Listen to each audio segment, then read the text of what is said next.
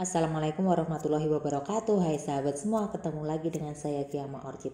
Di video kali ini saya akan mengulas tentang bagaimana supaya cara anggrek-anggrek kita yang kita tanam dapat berbunga dengan cantik dan sering berbunga seperti ini. Baik itu dendrobium maupun anggrek bulan. Di sini saya akan mengulas untuk cara menanam anggrek bulan dan dendrobium dengan cara ditampel di pohon seperti ini.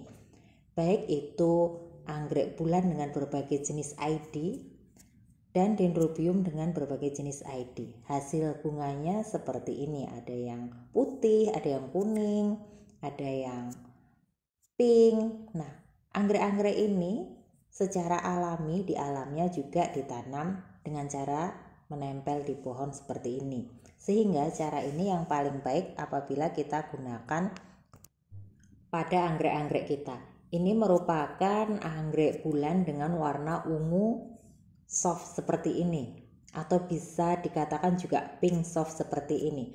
Dalam satu tanaman anggrek bulan ini dia memiliki empat tangkai bunga baik itu tangkai bunga lama maupun tangkai bunga baru. Dengan cara ditempel di pohon seperti ini, maka anggrek akan mendapatkan sinar matahari cukup, tidak terlalu terik karena dia mendapatkan lindungan dari pohon induknya. Kemudian untuk sirkulasi udaranya dia juga mendapatkan secara maksimal. Dengan seperti itu agroklimatnya akan sesuai dan anggrek bulan akan menjadi mekar sempurna seperti ini. Dalam dua anggrek bulan ini untumnya cukup banyak lebih dari 10 masing-masing karena masing-masing anggrek bulan terdapat dua tangkai ini dua anggrek bulan ya. Kemudian untuk yang dendrobium ini, dendrobium ini merupakan satu pohon dan dalam satu pohon ini ada beberapa tangkai bunga yang kuntumnya sangat banyak. Ini bisa sekitar sampai 20 kuntum bunga. Yang warnanya putih kemudian bagian tengah ada ungunya.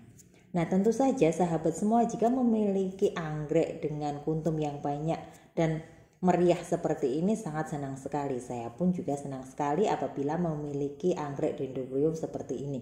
Nah, ini caranya pun sama, dia ditempel di pohon. Ini dengan diikat menggunakan tali. Kemudian, apabila kita lihat akarnya, akarnya juga sudah beradaptasi dengan lingkungannya. Nah, Dilihat dari kondisinya tentu saja agroklimat di sini juga terpenuhi. Ini dari udara, anginnya membuat anggreknya bergoyang-goyang. Ini menandakan sirkulasi udara sangat cukup. Kemudian untuk di sisi yang lain ini ada anggrek yang berwarna kuning.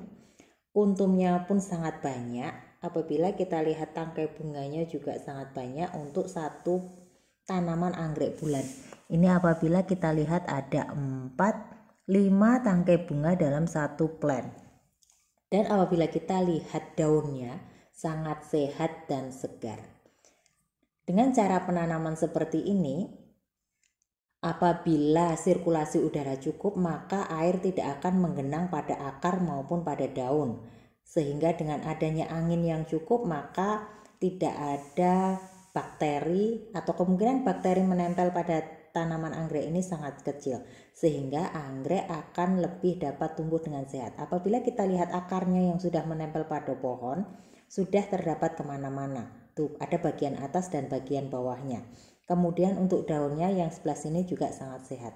Di sisi lain ini juga ada anggrek dendrobium yang berbeda dengan anggrek dendrobium yang tadi. Ini pada kelopaknya ada warna ungunya, kemudian ke arah tengah putih, kemudian lidahnya juga putih.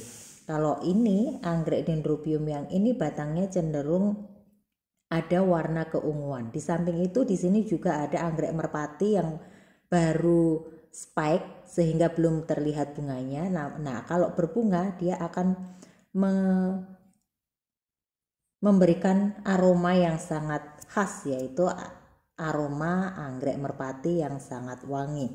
Nah, sahabat semua, dengan cara menanam anggrek di tempel pohon seperti ini yang paling saya rekomendasikan dibandingkan dengan cara menanam yang lain. Di sini juga ada spek baru lagi.